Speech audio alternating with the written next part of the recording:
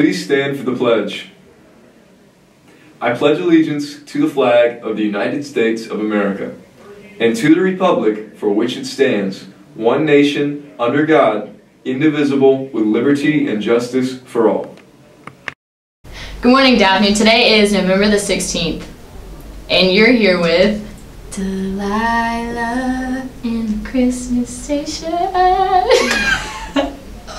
Today, during Parthenon, these seniors need to meet the fountain for their senior superlative pictures. Drew Collinger, Wesland Toll, Randall Shaw, Camden Wilhelm, Logan Thomas, Kayla Spicer, Maggie Coward, Peeper Walker, Misha Terrell, and Hunter Monty. Seniors, you may email your pictures of you with your college acceptance letters to Miss Mignoso at jmnyoso at dgcb.org. The Leo Club will be meeting Saturday, November 18th at Langan National Park in Mobile. They will be collecting apple snails. It will start at 9 a.m. and end around 11 a.m. They will be serving donuts afterwards. And if you're interested and not in Leo Club, please see Ms. Huggins. There will be the sectional swim meet this Friday, November the 17th and November the 18th at the Bishop Pool in Mobile. Friday it will start at 5 p.m. and Saturday it will start at 2 p.m. Come support your Trojan Navy. And your fun fact for the day is Crocodiles can't poke their tongue out. Wow!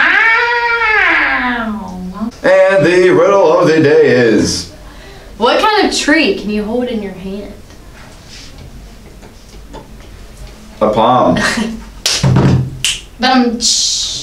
Good morning, Trojans. Happy birthday to Kaylin Brown. And Cody Brookins. Have a great day and happy birthday.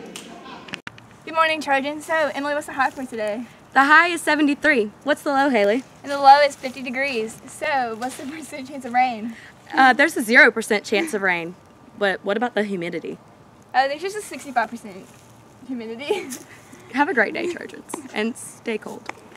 For lunch today, we are having crispito or beef and bean burrito, pinto beans, baby carrots, and fruit. Go Trojans.